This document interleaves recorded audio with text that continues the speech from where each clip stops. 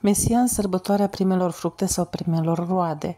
Instituția biblică a sărbătorii, pasaje cheie Leviticul 23 de la 9 la 14 și 1 Corinteni 15 de la 20 la 24. Modul în care sunt legate aceste două pasaje va fi înțeles pe măsură ce parcurgem pasajele și învățăturile conținute în ele. Numele sărbătorii reieșit ca țir sau începutul recoltei, primele produse ale recoltei de cereale, începutul producției sezonului de recoltare, poate fi privită ca făgăduința mai mult ce urmează, care va fi cheia pentru înțelegerea noastră a acestei sărbători pe măsură ce merge mai departe. Instrucțiuni biblice. În ziua următoare șabatului azimilor este numit reșit ca țir începutul săcerișului. În vremuri străvechi, în această zi, un omer de orz era legănat înaintea lui Yahua într-o ceremonie prescrisă pentru a marca începutul numărării omerului, inițiind astfel numărătoarea inversă de 49 de zile până la sărbătoarea săptămânilor Uh, și Yahweh a vorbit lui Moșe zicând, vorbește poporului lui Israel și spune-le, când veți intra în țara pe care vă dau și veți culege secerișul, să aduceți omerul cel din tâi și din secerișul tău, cațir, preotul lui Ariel să legere înaintea lui Yahua ca să fii primit în uh, ziua de după șabat. Preotul să legene și în ziua când vei uh, legăna omerul să aduceți lui Ahua un miel de un an fără cusur, cardere de tot și darul ei de uh, cereale, 20 de făină amestecate cu un de lemn. Este o jertfa lui Ahua, o mireasmă plăcută lui și o ofrandă de băutură, a patra parte dintr-un hin de vin. Cu alte cuvinte, în această zi preotul flutura un omer de ors verde din noua recoltă înaintea lui Ahua, la nord, la sud, la est, apoi la vest, ca un gest simbolic de ai închina lui. Uh, un miel a fost apoi sacrificat ca ardere de tot lui Yahua Olah pentru uh, împreună cu Minha, Uh, pâine nedospită amestecată cu ulei și vin. Numai după ce a fost săvârșită jertfa cu legănat, recolta a putut începe să fie folosită. Este cu totul remarcabil că în această zi urma să fie oferit un miel fără defecte împreună cu pâine și vin, tocmai simbolurile pe care îl folosea Yahshua pentru a-și aminti jertfa. Sărbătoarea urma să fie celebrată în a doua zi după șabat. Acest lucru va fi important când ne uităm la modul în care acest lucru se aplică lui Mașia și zilele învierii. Ei urmau să culeagă secerișul și apoi să aducă preotului snopul sau omerul primelor roade ale recoltei tale. Observați că aici nu scrie un snop, ci mai degrabă snopul sau omerul sau omerele. Este unul marcat Uh, ca primele roade ale recoltei. Și acesta va intra în joc când vom uh, raporta asta la Mașia în învierea sa, preotul al frutura înaintea lui Yahua. Tora a mai uh, stipulat că atunci când Israel a intrat în țară nu trebuia strâns niciun fruct din copacii, din copacii noi plantați în primii trei ani și că Primele roade din uh, al patrulea an au fost uh, consacrate lui Yahua și acesta are implicații mesianice. Observarea tradițională evreiască, respectarea evreiască modernă exclude elementele ceremoniei care erau dependente de existența templului oferte procesionale, sacrificii. Rabinii afirmă că numărătoarea celor șapte săptămâni încă urmează să fie efectuată, chiar dacă fluturarea ofrandei nu poate avea loc la templu. Sărbătoarea contemporană presupune rugăciuni și binecuvântări din cărți speciale, de rugăciuni, reflectând asupra semnificației simbolice a zilei.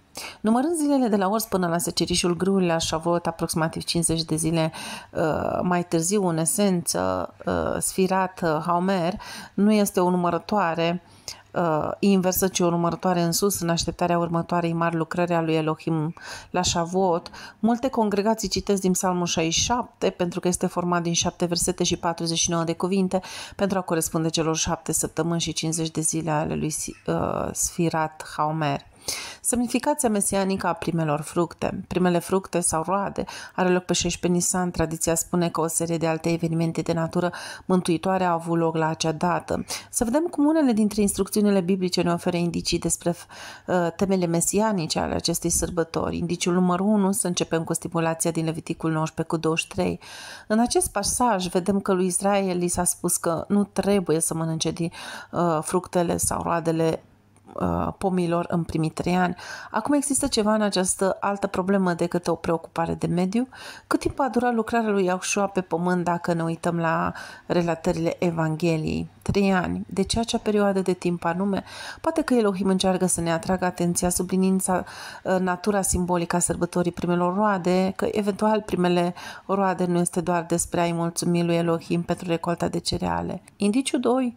Pilda lui Iashua din Ioan 12 de la 23 la 24. Instrucțiunile pentru sărbătoarea primelor roade stipulau ca un omer de cereale să fie fluturat de preot înaintea lui Yahua ca o mărturie a proviziilor lui Elohim. Ne putem gândi la aceasta ca la grânele care venise de pe pământ, acum înălțat în, în sus, pentru ca toți să, uh, să-l vadă. Iashua a făcut aluzie la propria sa moarte și înviere în termeni similar în pilda pe care el a spus-o. Este momentul în care a spus această pildă doar o coincidență sau el încearcă să facă un punct aici? Pilda este rostită exact așa cum au avut ucenicii, au venit ucenicii să sărbătorească pe sacul și ca atare este chiar înainte de sărbătoarea primelor roade. Este posibil ca Iashua să indice faptul că învierea sa este împlinirea primelor roade. Indiciul 3 omerul primelor fructe. Acest lucru poate părea destul de nesemnificativ, dar modul în care este exprimat este foarte important. Pasajul ar fi putut fi citit aduceți un snop sau un omer, dar spune aduceți snopul Conform Mișna, un uh, comentariu evreiesc al Scripturii, citim, când un om coboară de pe câmpul său și vede pentru prima dată grâne coapte, le leagă cu iarbă de stuf și spune, acesta este primul rod. Ideea este că acest nop este separat de toate celelalte, este evidențiat și devine primul fruct. Cum este acest lucru important? Uh, ne ajută să înțelegem exact despre ce vorbește Pavel în 1 Corinteni 15, 20 și 23. El nu afirmă doar că Iasua a fost primul care a înviat din morți, dar făcând astfel este împlinirea directă a sărbătorii primelor roade și prin urmare subliniază faptul că această sărbătoare ar trebui să fie importantă pentru toți credincioșii în Mașia. Tema acestui pasaj este de asemenea cea unei părți a semnificației primelor roade, este promisiunea celor mai multe care vor veni rezumate de Pavel. Indiciul 4, momentul sărbătorii, acesta este ultimul nostru indiciu în semnificația mesianică a sărbătorii. Aceasta este singura sărbătoare din Scriptură care dă timpul sărbătorii ca atare, în ziua de după Shabbat. Cu toate acestea, Scripturile dezvăluie că sărbătoarea primelor fructe trebuie să se alinieze și cu 50 de zile după sărbătoarea celor șapte săptămâni, ziua cinzecimii, conform Leviticului 23 de la 15 la 16. Sărbătoarea celor șapte săptămâni trebuie să aibă loc și în ziua de după șabat, al șaptelea după cele 50 de zile, se numără șapte șabate până la sărbătoarea Shavuot. Prin urmare, sărbătoarea primelor roade are loc întotdeauna în prima zi a săptămânii. Această sărbătoare urmează întotdeauna modelului Pesach Shabbat, primele roade, dar asta ce ne spune? Iashua este numit în uh, 1 Corinteni 5 de la 7 la 8, mielul nostru de pe sac, ca tare el a murit pentru mântuirea noastră. El a murit de pe sac, după aceasta s-a odihnit. Acesta este sensul cuvântului șabatul în mormânt. Apoi, în prima zi a săptămânii, în ziua de după șabat, el a înviat și ca atare, el este primul rod, împlinirea sărbătorii și promisiunea că toți cei care cred în el vor fi înviat din nou în ultima zi. Este de mirare că această sărbătoare cu importanța ei singulară ar trebui să fie singura, stabilită în mod specific în ceea ce privește momentul momentul sărbătoritului. Rav Shaul uh, explică în 1 Corinteni 15 că moartea și învierea lui Iashua au reflectat plantarea și recoltarea recoltei de ors de pe uh, reșit ca țir, în timp ce viitoarea înviere a urmașilor lui Iashua va fi ca recolta de grâu la Shavot, dar acum Mașia a înviat din morți și a devenit primul rod al celor ce au adormit și după cum prin om a venit moartea, tot așa prin om a venit și învierea morților, căci după cum toți oamenii mor prin Adam, tot așa și prin Mașia trăiesc toți fiecare în rânduiala lui. Mașia a fost primul rod, apoi cei uh, ce sunt ai lui Mașia la venirea lui și atunci va fi finalizarea când el va fi predat împărăția lui Elohim Tatăl, când fiecare prinț și fiecare suveran și toate puterile vor fi dispărut. Iașua însuși s-a referit de asemenea la moartea sa viitoare și la învierea viitoare a urmașilor săi ca un ciclu de recolt tare când a explicat în Yahu Canaan, în Ioan, că vă spun că dacă un bob de grâu care uh, cade la pământ, nu moare, acesta rămâne doar un bob, dar dacă moare, produce o recoltă mare. Deci dacă învierea lui Iesua este imaginea recoltei de ors de pereșit ca țir, mormântul lui reprezintă câmpul uh, după recoltă, adică gol. Așa cum secerișul de ors prefigurează recolta de grâu care urmează să vină șavot, tot așa învierea sa prefigurează una mai mare care urmează să vină. Dar cum rămâne cu oferta de snob, legănat sau de omer? Găsim în Iahu Canaan 20 scena în care Miriam a venit la Iashua în afara mormântului său.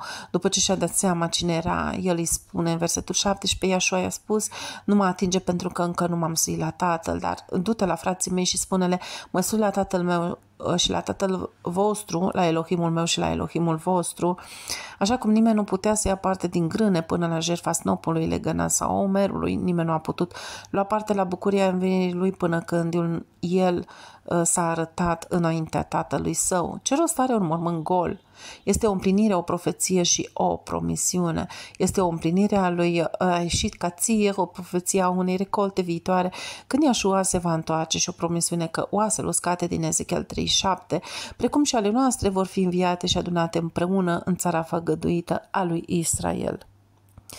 Așteptăm cu nerăbdare acea zi, la fel cum așteptăm cu nerăbdare recolta bogată care va veni cu siguranță pe șavot.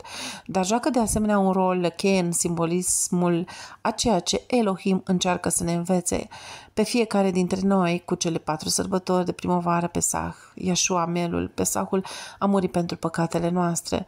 Când ne punem încrederea în El, așa cum au făcut israeliții în Egipt, suntem răscumpărați. Azimile ne învață să le pădăm uh, să ne lepădăm de natura veche, condusă de păcat. Primele roade ne învață să ne îmbrăcăm cu noua natură pentru a trăi viața biruitoare împuternicită de puterea învierii. De asemenea, promisiunea învierii noastre în ultima zi. Sărbătoarea săptămânilor în cele din urmă, sărbătoarea săptămânilor când Omerul este numărat și terminat de uh, numărat cu cinzecimea modul în care putem trăi viața nouă prin puterea Duhului Sfânt.